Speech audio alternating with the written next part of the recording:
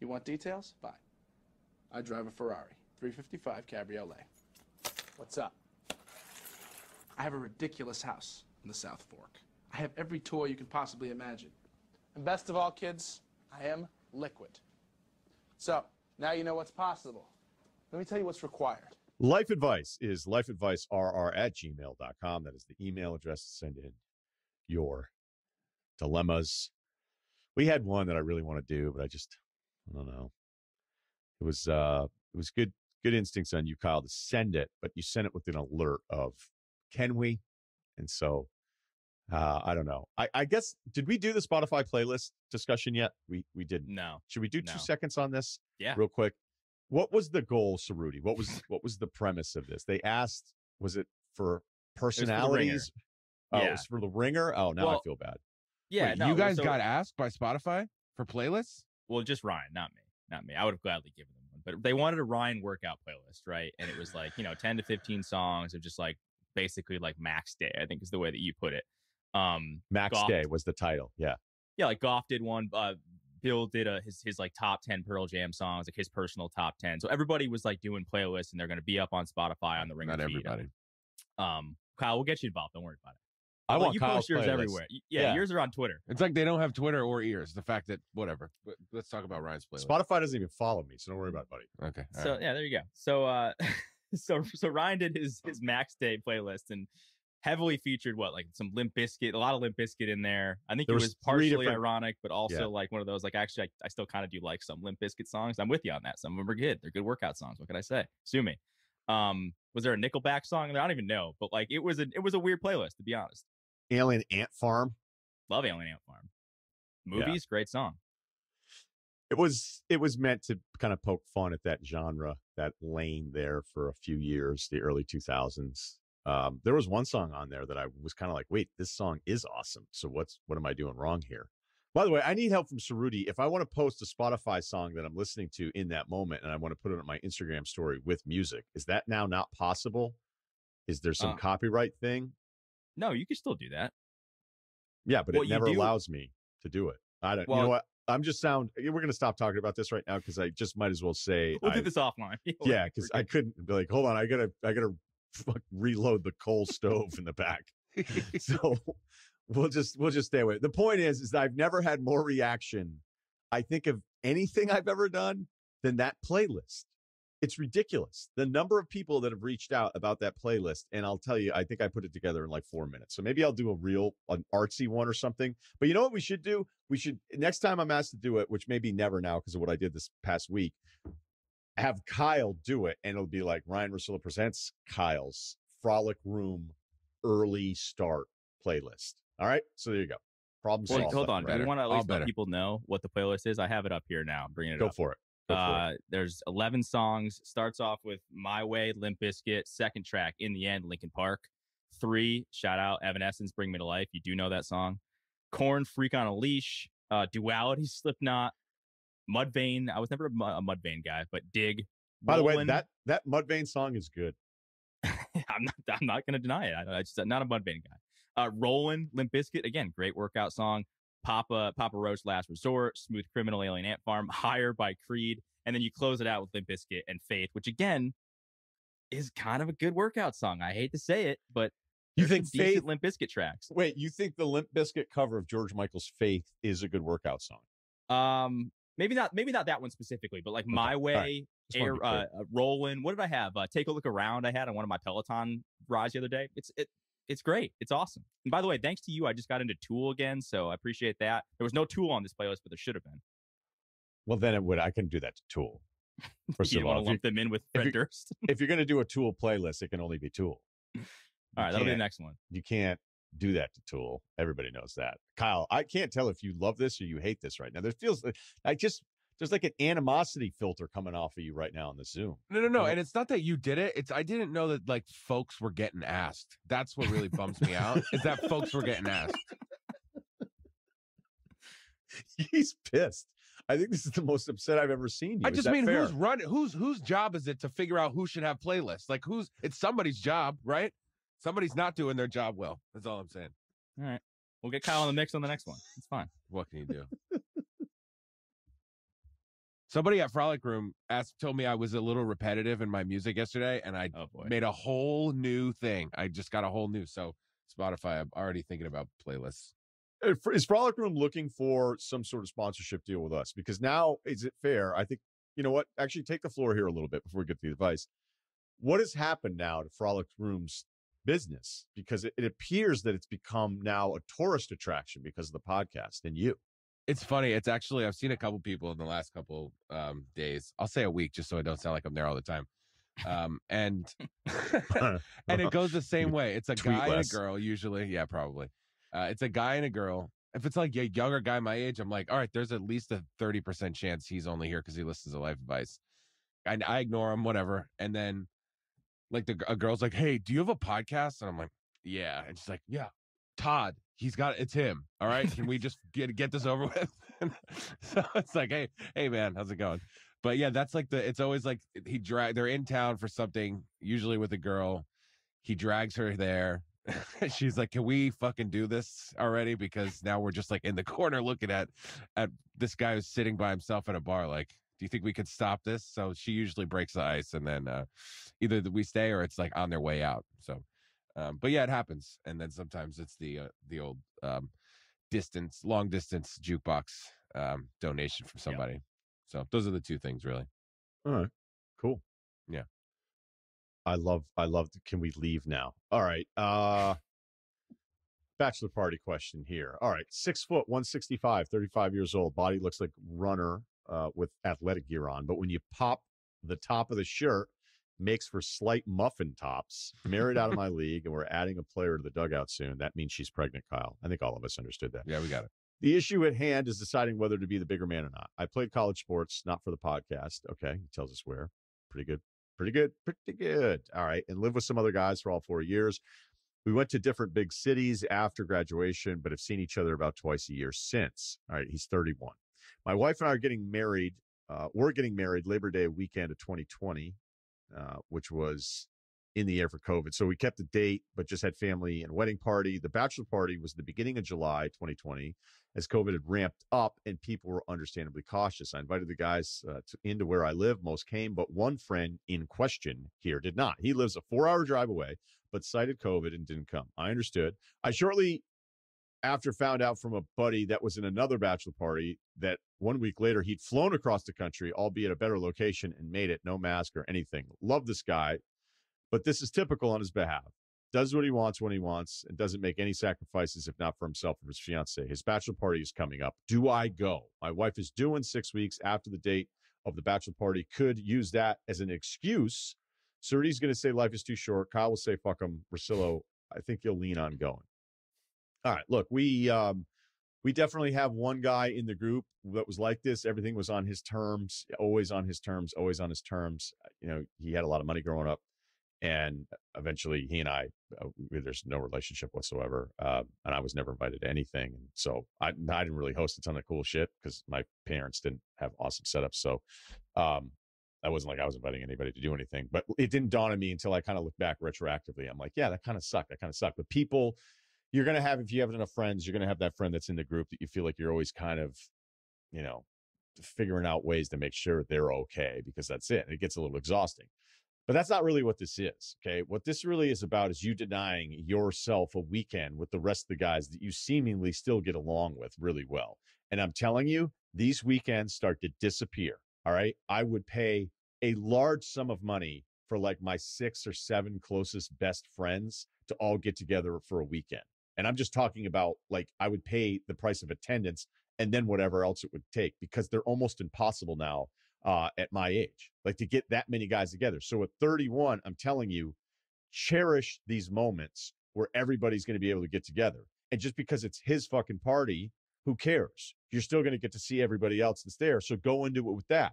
Yeah, he wanted to go to something else, you know? And if the other thing that he went to was going to be awesome compared to the thing that you were doing, you know, I, can admit that there'll be some things that may come up where I go, hey, sorry, man, that I can't make it to this because I'm definitely going to this instead. And if you do it all the time, then maybe you don't become friends anymore. Maybe you can call that person selfish. I totally you're not you're not wrong to feel these things. But what I would say is to spite yourself. I think we do this far too often. To spite yourself the enjoyment of a weekend with all your buddies is these become few and far between as you get older and older and the kids start coming around. Don't do that out of spite because you're going to love the option. You're going to wish you had this option in another five or six years as you guys all get older. So go. I was gonna say something that was kind of the opposite, but I think you you kind of won me over. But did he say that his baby's gonna be six weeks old by the time he's leaving, or his baby's due six weeks after the bachelor party is? I forget if it was at whichever end this was on, but either way, I don't think that um that the wife would Six would weeks after. Six weeks after. So Ugh. I don't know. That might that might suck too, right? I mean, uh, I think the wife would be far more upset after the kid were born. Mhm. But again, I don't know. I don't want to get in an argument with pregnant Yeah, on this. I I It's not- agree. what I was gonna say was goal of this. what I was gonna say is just say you can't go and cite COVID. I thought that would have been hilarious, but uh just do the exact same one. You don't have to say my kid or whatever. Just that COVID, dude. That would be hilarious if you're Still like, crazy hey, out there. this COVID thing. I'm just, I want to just check off every precautionary box. So And then like really get after it that weekend and post everything on Instagram. see you in 23. Yeah. uh no, Ryen, I'm with you. I think you nailed everything. I mean, unless you're like Russell Westbrook level petty and you're not going to be able to have a good time because you're going to be so annoyed with this guy, then yeah, all right, maybe don't go. But if you just want to hang out and have a good time and you're having a kid, like I'm, I got a couple bachelor parties coming up this year with some close friends, and they're like some of the things that I look forward to most, like even more than the weddings. Like it's not, not even that we're doing anything crazy. One of them we're going to, I think we're going to Burlington actually, Ryen. We're just going to hang out on, on the lake and just hang out and drink and just be together. Uh, you're right. Those the older you get, like we've been trying to plan a vacation with my friends for like five years now, and shit just doesn't work out. So th- you need to take advantage of these times when you can just have like a dude's weekend, and this is one of them. And honestly, even if you go, fuck that guy. You don't have to talk to him the entire time. Just talk to your other friends. So I would say enjoy yourself, unless you're going to be super petty. Anything else? No. Okay. Seems pretty straightforward. This is just a follow up that apparently, you know, this is what's so great about the podcast, especially, you know, recent history of it and uh, just the audience, you know, and the numbers and everything. Uh, how many people hadn't heard the Dierks Bentley story? So we had a lot of follow up to that, and so that's great. And I'm I'm glad everybody appreciated it. And they actually posted uh, the story from Dierks' Instagram account, which I can pretty much guarantee you he doesn't run. So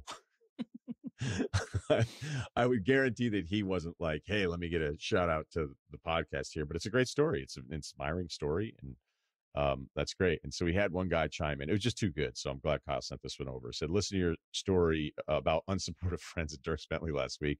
It reminded me of a story my boss told me a few years back about one of his close friends from college who was friends with Jim Henson, the Muppets guy, back in the mid 70s.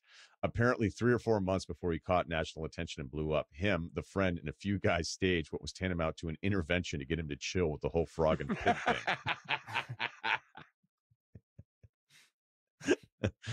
oh, that is so good. That's so good. We have an announcement at the end of the podcast, too, but we'll do this one quick. 6'2, 180, 185 bench, long arms, also not that strong. 32, hair recently started receding, beard just started graying. Fathering young kids is starting to show on my gut and face. Needless, I'm not 21, nor do I look it. One of my biggest pet peeves is getting carded at restaurants or bars. These are not the college or spring break places uh, that inevitably carry more liability for serving minors. Oftentimes, once momentum has been gained with a bartender after the initial meet and greet and the first drink is ordered, that momentum is lost when the request to see an ID is made. But having the ID ready at a less busy, more sophisticated establishment never seems to work out socially either and makes me feel like a loser. I've started tipping accordingly. Am I being a dick? The other night, I took my family to a mid level American fare suburban bar and grill, which is the best description of Chili's I've ever heard of. Uh, the kids are obviously mine, or maybe Applebee's on a date night. All right. The kids are obviously mine. My oldest, who's seven, was calling me dad. Clearly, I'm not under 21. Well, you know. The waiter, who was about my age or younger, took drink orders for everyone and then asked to see my ID while I started fiddling with my youngest, who was in a high chair. The annoyance clearly showed on my face when I begrudgingly pulled out my wallet with one hand whilst holding my 18 month old. He then proceeded to annoyingly scan the identification for far longer than he needed to and flipping it over multiple times. Needless to say, his tip greatly reflected my annoyance at the circumstance. Sounded like this guy left maybe an 11 percenter here. Uh, I certainly know it's the law, but what about the unwritten social law that bartenders and wait staff need to be cool and able to read the room? What type of ID checker was a younger Russillo, cool or cautionary? Uh, I was not cautionary. That was sort of policy at the time, the places that I worked at. Um, although one place in the vineyard that I worked at was a little bit more upscale. We had to, you know, we had it. But by the way, back then technology was pretty easy. Be like, oh, stencil, got it. New Jersey profile pic, 90s. Those whoever was pumping out those New Jersey IDs made a killing. Anyway, uh, you know what I'm going to tell you on this one? If you look that young at 31, that you're constantly getting carded all the time, just understand the annoyance now is going to be worth it for how good you're going to look when you're 50. That's it. You know, like I saw the picture you here. You look like a young guy. You just look young. You're gonna want to look young as you get older. So yeah, it sucks and it's a little bit extra. And you probably built it up in your head. You you're pre-annoyed because you're expecting it to happen because it's happening to you all the time. Um, yeah, it'd be great if the person could read the room a little bit better. But the fact that you're holding a, uh, an 18 month old and you have a seven year old that's calling you dad, and the fucking server still can't figure it out that you're not 21, that means you're going to look so much better than everybody else when you get to your 40s and your 50s. That's the way you should look at it. Be happy about this, even if it's slightly annoying. And you know what? Hopefully, you're at least 15%. That's all. Anything else? I just think you should master the um the like one word. Like I, I've I've done it too, where it's like sometimes it's with cigarettes. It's like I come in here all the time, whatever. I know I know if I forget my wallet and have to use Apple Pay at my go to 7-Eleven, and it's fifty percent of the chance, depending on who's which one's working in there, I'm they're just gonna say no, and and that's fine. So and I get it for that because there's cameras on you all the time. But you know when when people are like, "Can I see your ID or something?" I mean, I'm 28, so it's really not it's not crazy. But I'll just do like the all right. Like I won't do it like me a mean way, but I, I think I've actually mastered. it. I think I'm actually elite at it, if you will. Is this the like uh all right thing where I'm a little surprised and they get they get it. So I think just get better at doing that all the time. All right. So, Rudy, you're a young looking dude. Yeah, no, I, I feel like I probably am a similar thing to this guy, but I, I don't, especially places like that, like the big chains, whatever. Like they have to be extra careful about this. So I think that that, like they'll card people in their 40s and 50s. I feel like at certain establishments, just because it's the law and they have to card everybody because they don't want to like, you know, make it seem like you know they're only carding people who are young. They're we're carding everybody. There are no questions asked. Everybody has to deal deal with this and just deal with it or don't come to our restaurant. I think that's kind of the deal. And my only thing was like, I wonder if people actually like try to scam by bringing in kids, like 18 year olds, or like bring in their like, you know, their kid brother and be like, oh yeah, this is my kid. Like I'm able to drink. I wonder if that's ever been like a scam before. Maybe this person has gone through that and seen, and they're trying to read through your scam. But like clearly, it's not that big of a deal if you just take your wallet out, show your ID, and move on and have a drink. Like chill out, dude. That's what I would say. Yeah, you just made me think of an entirely different story. But it's funny how, depending on who you're with, like if you're younger but you're at a fancy dinner, some people may not card you. You know, I remember I got a hotel with my girlfriend when I was a freshman in college. It was literally packed a weekend bag and walked across the street to like a Sheraton.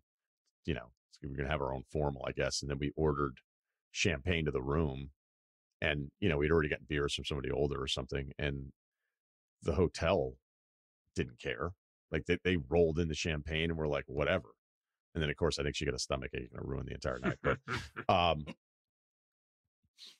I remember uh, this actually has nothing to do with it, but I, I don't know. I'm trying to think, is that my first beer? I, I don't know how old I was. I might have been 14.